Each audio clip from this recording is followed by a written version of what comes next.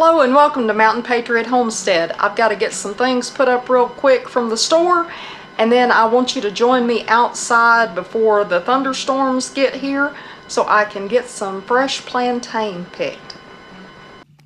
And here we are out in a portion of my yard. This is actually a little fenced in area right in front of my greenhouse where I have let the plantain just grow it is growing alongside my comfrey and some other wild plants that are growing out there that I will use. And I started out, I was going to, uh, I guess, try to look fancy and use scissors to cut this with. However, it's easier most of the time just to pick by hand whatever you're picking.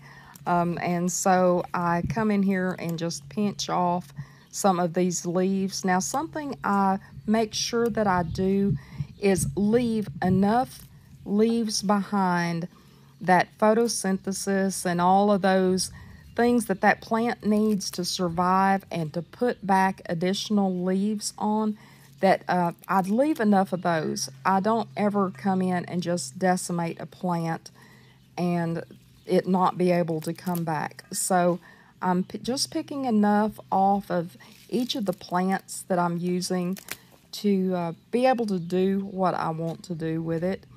And as you can see, I don't know if you can see right at the top of the plant coming out are the, uh, then this one is a little better. Uh, you can see the stalks coming up with what are actually blooms for the plantain plant.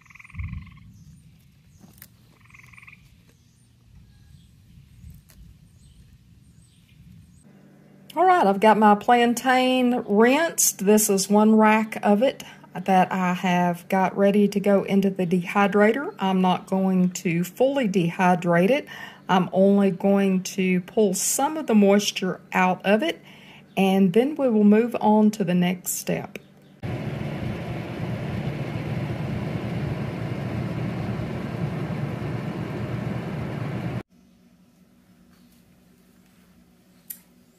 And we're back. I am using a glass milk jug here, or milk bottle, I guess. Uh, as with our philosophy here at Mountain Patriot Homestead, we waste nothing, and these glass jugs like this are perfect for doing our oils and tinctures.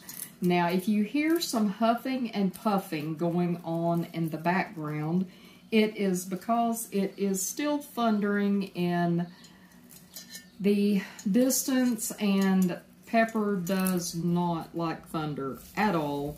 Nothing to do with storms. She just does not like it.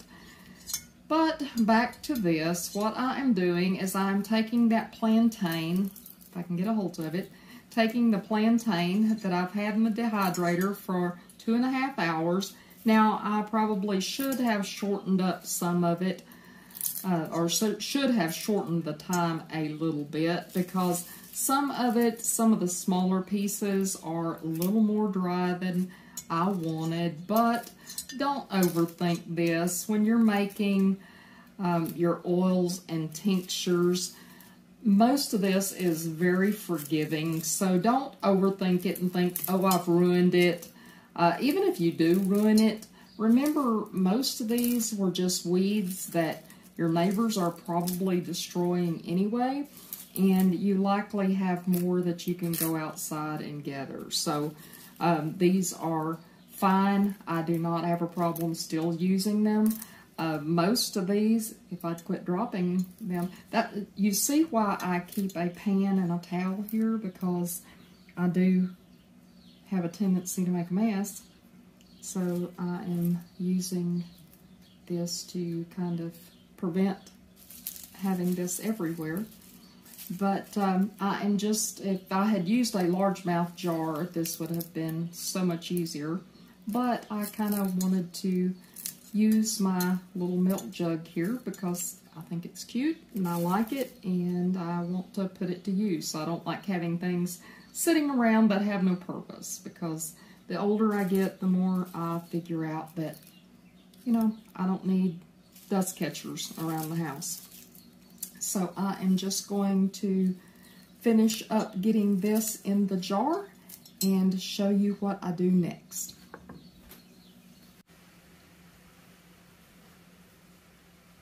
Okay, I am finished with cutting up the plantain into this jug. As you could see, it would hold quite a bit more. And what I can do is I can cover it with some of the alcohol that I have here. I can cover what I have in this jar and then I can continue to pick it and add to this jar and just keep filling it, topping it off with more of this until I get a full jug. It's fine, like I said, don't overthink what you're doing. There's just some very basic things. Uh, as you've seen, I was cutting it up. You can tear it up, uh, break it up, whatever you need to do. Uh, the purpose of that is so more of the healing properties can be drawn out of the plant and go into your tincture. And so the next thing I'm going to do is I'm taking this, as you can see, this is a very cheap brand of alcohol. This is just vodka. It's 80 proof, which means it's 40% alcohol. Uh, you can use a more potent, you can use 100% if you want to, but at least 80. Now, you can make some tinctures without alcohol, but I make mine with it. It just draws out more of the healing properties, in my opinion. Now, as I have told you before in these videos, I have to tell you that I am not a medical professional. Nothing that I tell you on this channel can be construed as medical advice. This is just what I do for me and my family, for our health, and uh, it is practices that we follow that have been followed for centuries. And so it is just... Uh, it's something you should research more on your own to see if this is something that you uh, wish to do. And that's my disclaimer. Okay, got just a little bit of that left in there, but as you can see, I covered that up, and I, when I put the cap on it, I will shake it a little bit, just to kind of make sure that everything, I may have to put some more in it, but I will just make sure that it is all covered. Now, this will get capped. It will, just like with my oil, uh, but when I made the chickweed oil, it will uh, go into a cool, dark place. I will shake it every once in a while, and this will stay in here, drawing out those healing properties at least eight weeks. And when I come back, I will explain to you some of the uses that I make of this.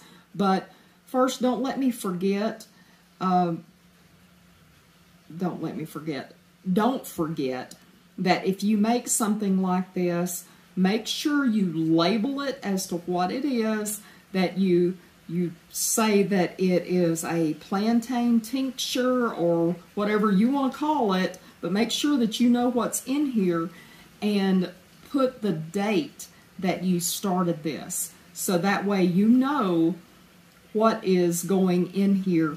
Now, as I add to this, because I, I do think I'm going to add, I don't want to waste, why waste this perfectly good jug. So I will be, over the next few days, adding to this. And what I will do is when I get the final amount, or the final topped off in here, I will also put that date. So I will go from my time will start with that date rather than today's date.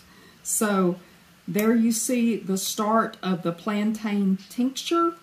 And next I will be telling you a little bit of what I will use this for for me and my family when we come back. And there you have it. That's how easy it is to make plantain tincture. Now I just have to come back, as I said, every few days and shake it up. Uh, leave it for at least eight weeks. The longer, the stronger it will be. And once that has uh, that plantain has set in the alcohol long enough, I will strain it through a good clean cheesecloth, bottle it up, and keep that bottle in a cool, dark place. That just preserves it that much longer. And what will I use it for after it is ready? Well, plantain is one of those things that if it was sold over the counter, it would be called a miracle drug. Because for us, we can use it, and the reason I say us is I cannot say you need to use this because um, YouTube doesn't like people giving out medical advice. Uh, and I don't blame them because there's so many um, so many people that have so many medical issues that I would not want to be responsible for perhaps you using something that um, may go against what you are doing that you, maybe your medical doctor is uh, prescribing for you. But um, really, there are no contraindications for plantain that I have been able to find. Plantain is um, for me is a very safe alternative. I can use it for everything from sore throats to um, any type of um, dry mucus issues going on. Uh, dry mucus, that's not even what I was trying to say. It will dry mucus issues that are going on. It can be used for earaches it, as long as the eardrum's not burst. You can uh, use the tincture in the ear for um, ear infections. It can be used on wounds.